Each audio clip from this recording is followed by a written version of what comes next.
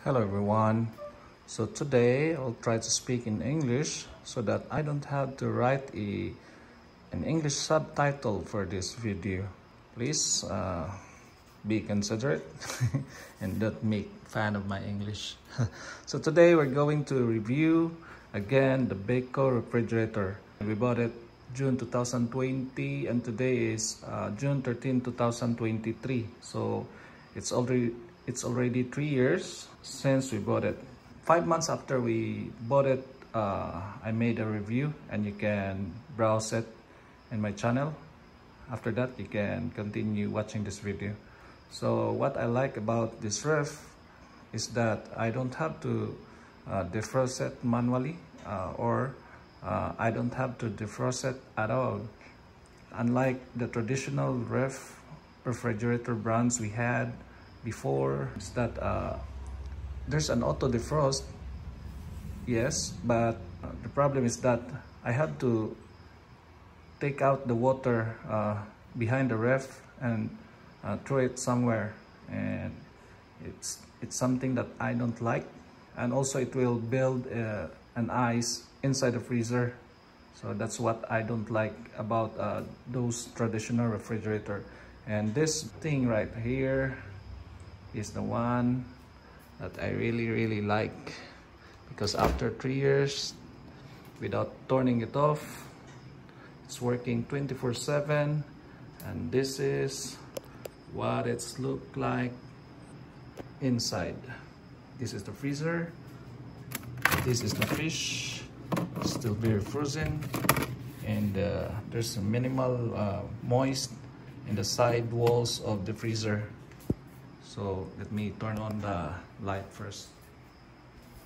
Ah, it's turn on. It's still dark.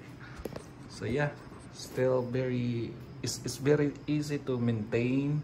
You can see here there's some dirt. I believe we can still clean this up if we want to. Yeah, there's no major damage also in the in the in the rubber. That's good. So when we close the refrigerator uh, what it will do is that um, the there's a fan inside. Oh, let me open this again. There's a there's a fan that will turn on or operate and will try to suck uh, almost all of the air inside the freezer. And maybe that's I think that's the reason why the ice will not build up in the walls and in the ground. Because uh, the humidity of the ref was like uh, very low.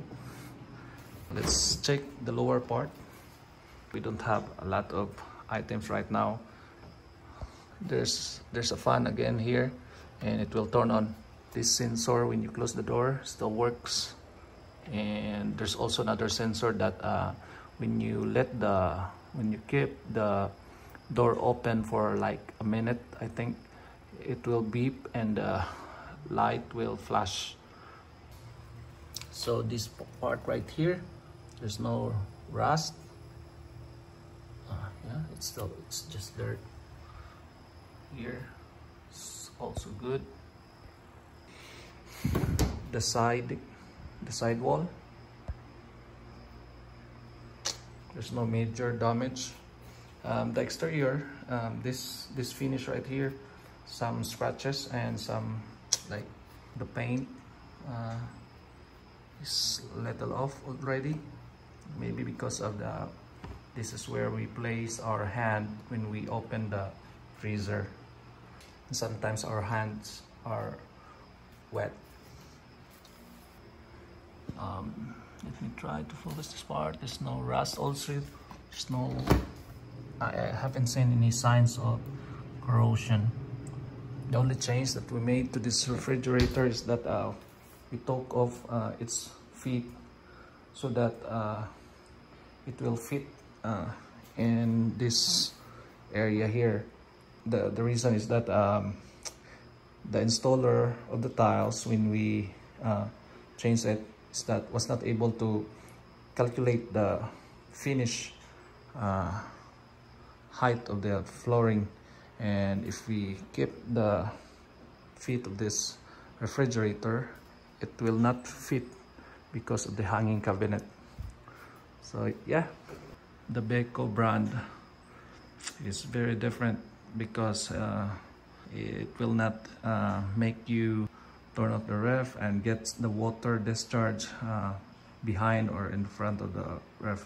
This is operating 24-7 for three years and it will only goes off if there's a brownout here in our area.